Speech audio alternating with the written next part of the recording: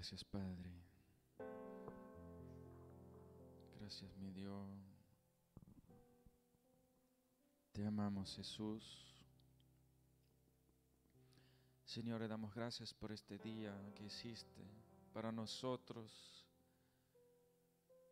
Gracias que estás aquí guiando y cuidando nuestras vidas. Gracias que nos amas y que nos bendices de una manera especial. Gracias Señor que tú usas personas que ni nos conocen ni nos bendicen, porque pusiste gracia en nosotros. El apóstol Pablo dice, le dijo a Pedro, basta de, de mi gracia.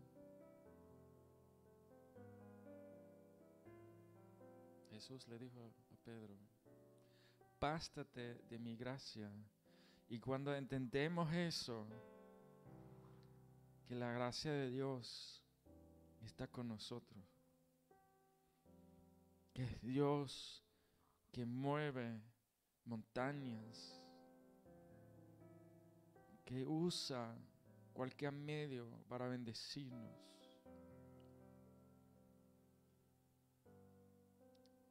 Vamos a abrir la palabra en Deuteronomio 15, versículo 1 hasta el 11. Cada siete años harás remisión, y esta es la manera de remisión. Perdonará a su deudor todo aquel que hizo empréstito de su mano, con el cual obliga a su prójimo, no le demandará más a su prójimo o a su hermano porque es pregonada la remisión de Jehová. Cuando entendemos que el pueblo de Israel fue de cautiverio, de esclavitud, sacado, entonces Dios, no quiere que nosotros mismos pongamos nuestros hermanos como esclavos. Si hay un deudor, no importa por qué, porque Jaridola tenía que comprar la herencia o mató un animal que tenía que pagar. Bueno, no, nada, no, esto no, no cuadra aquí porque no se paga siete años. Esas son cosas mayores, deudas grandes que uno tenía que pagar, sea por lo que sea, el año séptimo ya es el año de remisión. Pero ¿qué sentido tenía? El sentido de esto era que, que nuestro prójimo, que nuestro hermano, que no será esclavo de nosotros toda la vida, que no será sino hay una libertad, que hay un fin. Y el versículo 10 dice, del extranjero te mandarás el reintegro, pero lo que tu hermano tuviera tuyo, lo perdonará tu mano, para que así no haya en medio de ti mendigo, porque Jehová te bendecirá con abundancia en la tierra que Jehová tu Dios te da por heredad para que lo tomes en posesión. Dios quería bendecir todo el pueblo de Israel.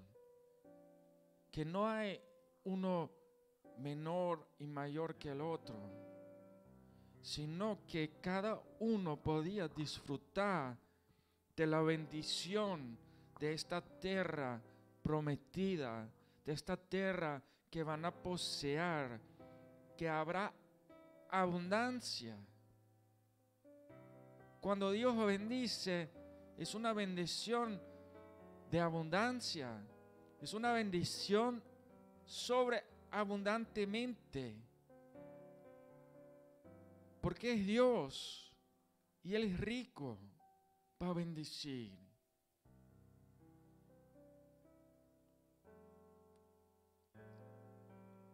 Pero hay algo que debo hacer. Hay algo de mi parte que debo hacer para poder recibirlo. A muchos recibieron la promesa. A muchos Dios prometió a bendecir. Y cuando Dios promete, Él va a cumplir. Pero no los han recibido todavía. Y hay una razón. Ahí puede haber esta misma razón. Porque no obedecieron la palabra de Dios.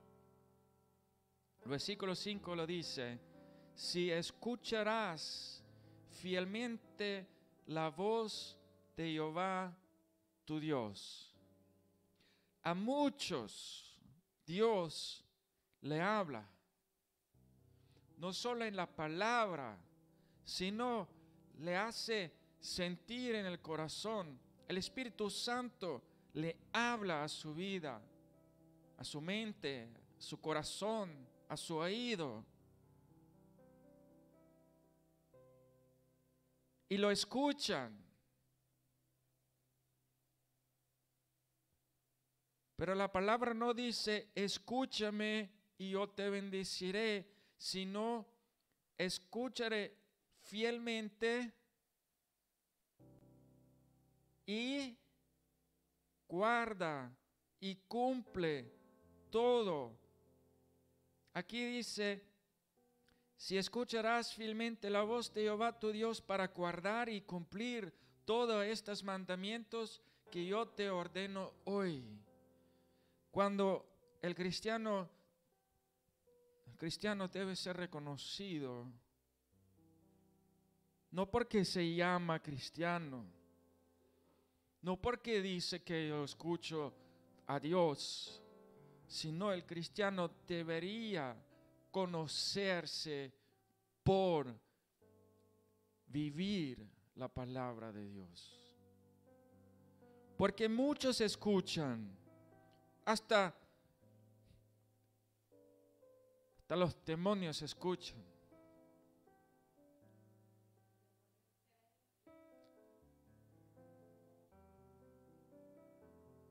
escuchar solamente no basta.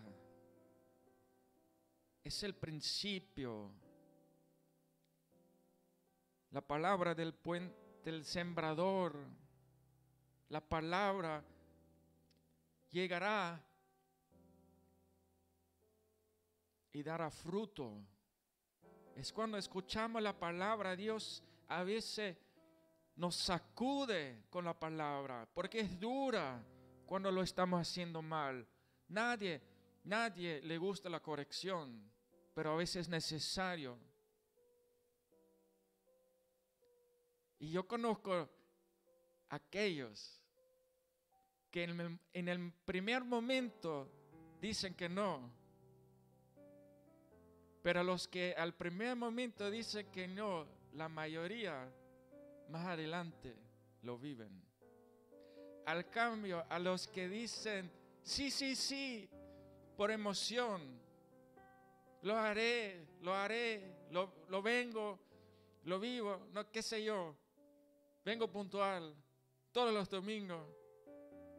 A los que al primer instante dicen que sí, son aquellos que tres semanas después ya no vienen al culto. Y lo hemos vivido. Pero aquellos que al principio hay un choque, que hay una resistencia, ahí a veces le sacude la palabra en el instante. La carne dice que no, pero el espíritu sigue tratando y tratando. Y en los días, esta palabra cayó en buena tierra. Y la hemos vivido también este año. Esos son testimonios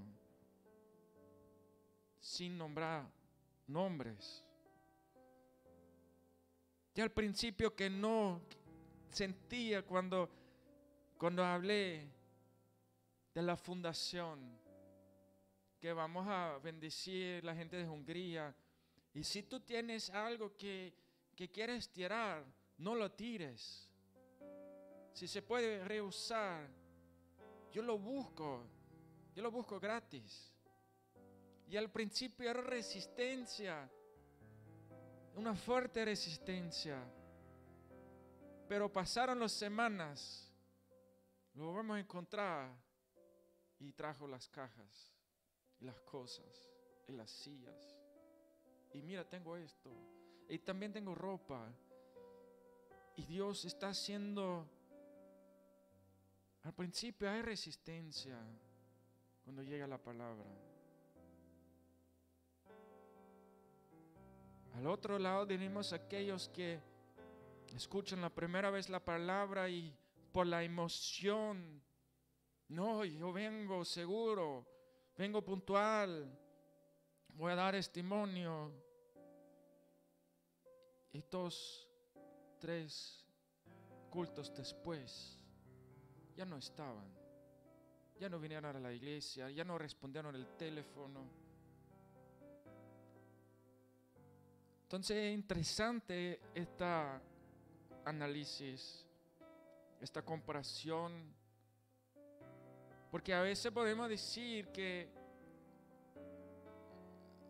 ahí deje la palabra en buena tierra, ¿por qué fue recibido ese día?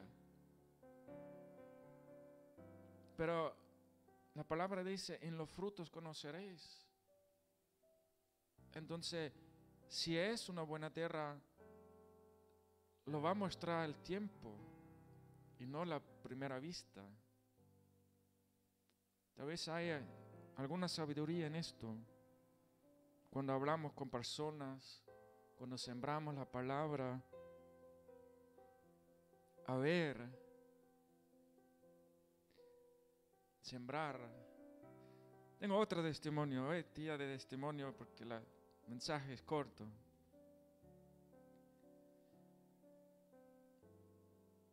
Estaba hablando con una señora que monté una lámpara. Me ofreció un café con mucho gusto y hablamos.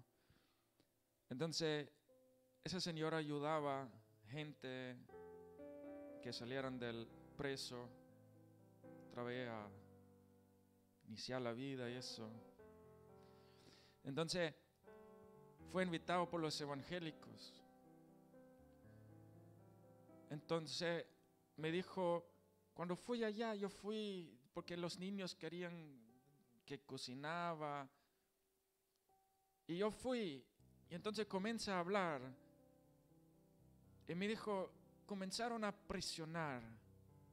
Comenzaron a, presionar, claro, con, de, su deseo a, a captar personas, a crecer me contaron unos cuantos testimonios que uno de ellos, uno de, esos presos,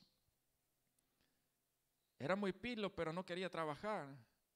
Entonces ellos le dieron el apartamento, le dieron hasta dos gatos.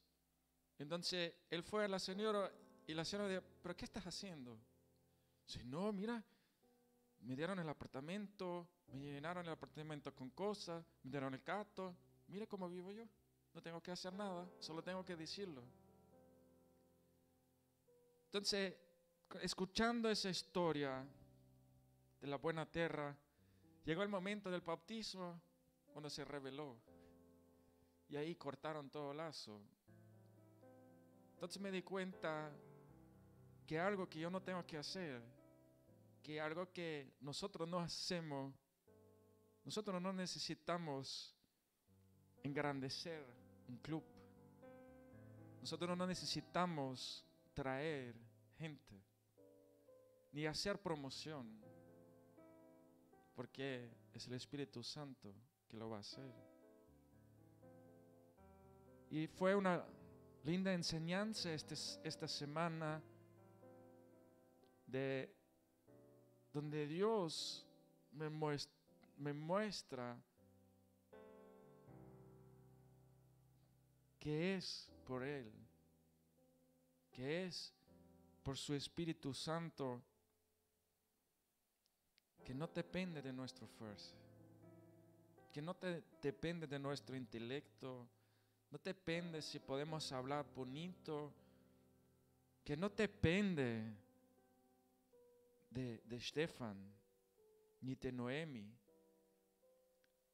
sino la iglesia del Señor depende de Dios, depende cuando Él quiere hacer, cuando, cuando nos dejamos preparar por Él.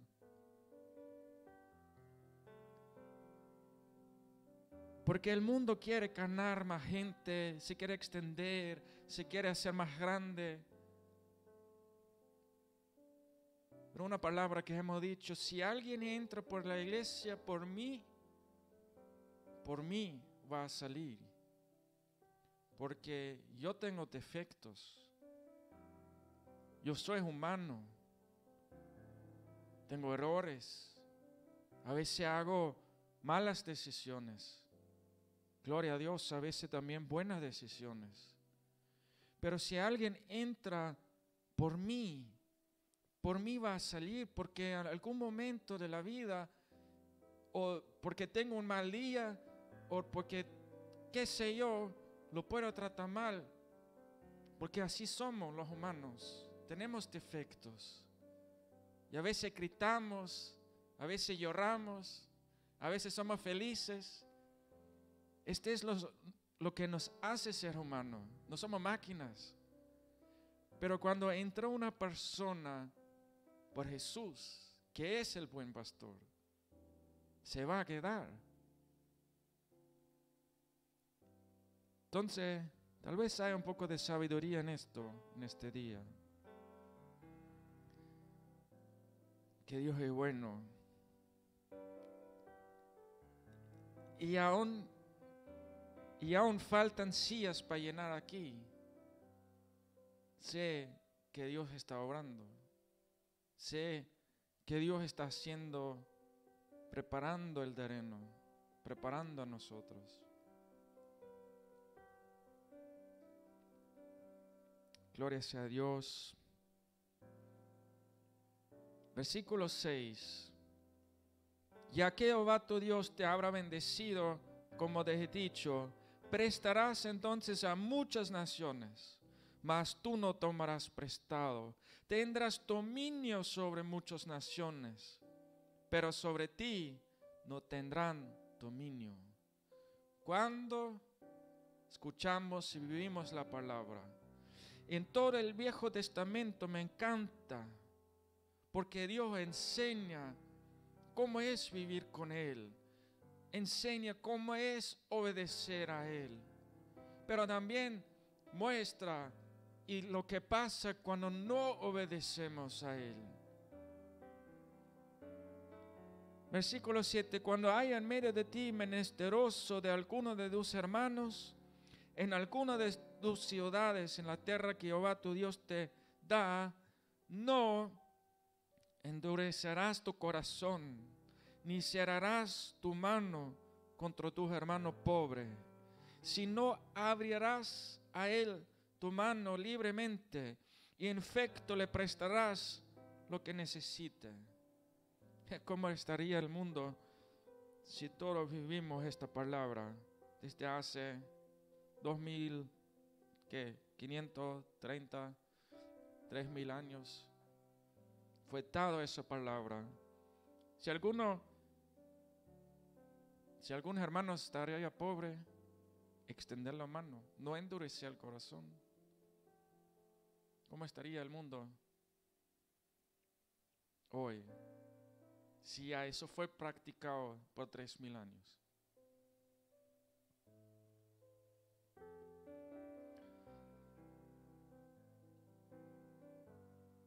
Nueve, guarde de tu corazón pensamiento perverso diciendo, cerca está el año séptimo, el de la remisión, y me haréis con malos ojos a tu hermano menesteroso para no darle, porque él podrá clamar contra ti a Jehová y se te contará por pecado. Wow. Está difícil, ¿no? Ahora, ¿cómo sabrás si es tu hermano o no? ¿Qué te pide? Ahora, ¿cómo sabrás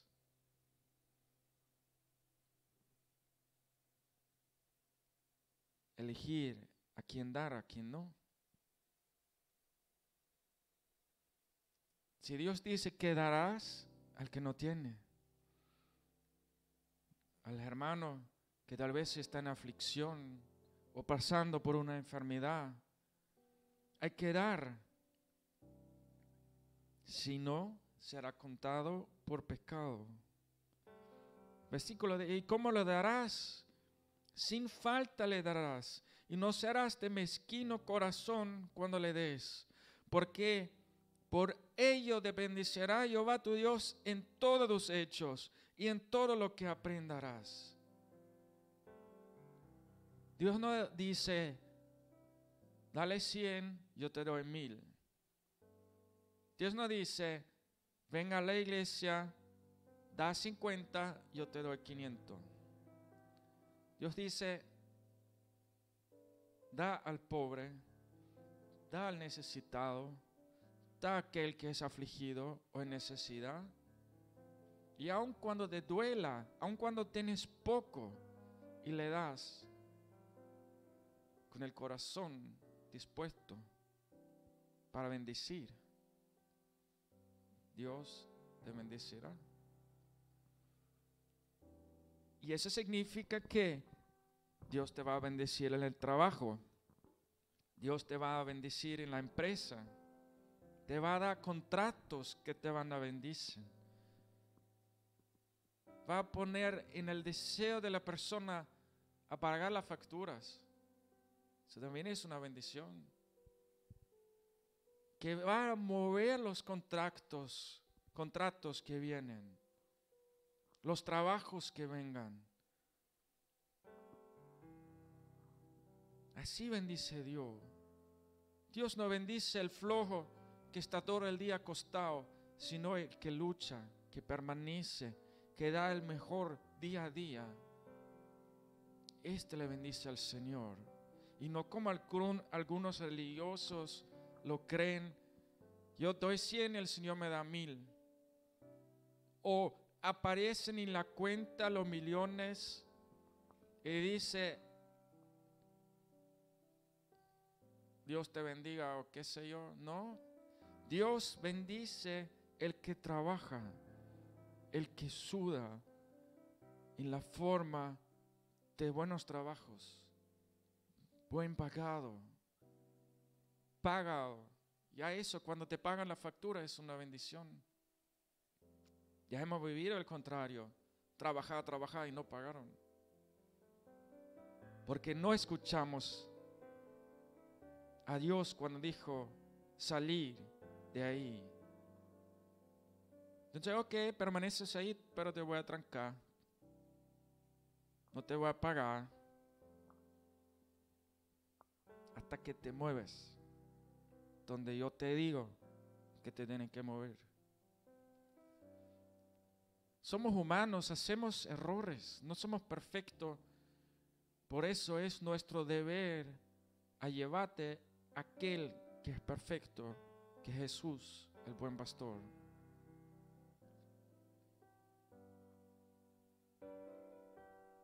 sin falta le darás y no serás de mezquino corazón cuando le des, porque ello te bendecirá Jehová tu Dios en todos tus hechos y en todo lo que emprenderás. Porque no faltarán menesteriosos en medio de la tierra. Por eso yo te mando diciendo, abrirás tu mano a tus hermanos, al pobre y al menesteroso en tu tierra. Amén. Dios me la bendiga a todos. Esta fue la palabra en este día. Gracias doy al Señor, el precioso Espíritu Santo que lo dirige. Bendice cada, cada corazón, cada mente que escuchó esa palabra en este día, en este tiempo. En este tiempo difícil, Señor, bendícelo cada uno en el nombre de Jesús. Amén y amén. Señor, le damos gracias por esta semana, una semana de bendición. Vamos a esta cuarentena, no dividir familias ni relaciones, sino con Dios uniendo.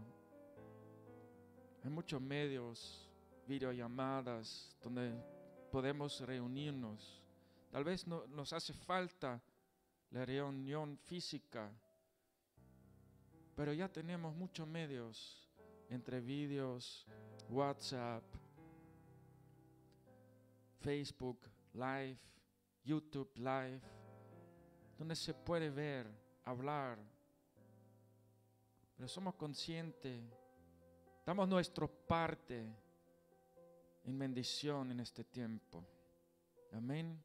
Así que, amados hermanos, Dios me lo bendiga mucho en este día. Les amamos en Cristo y nos vemos, Dios, mediante el miércoles en la noche de intercesión. Así que muchas bendiciones. Nuestro pastor Stefan les saluda. Amén y amén.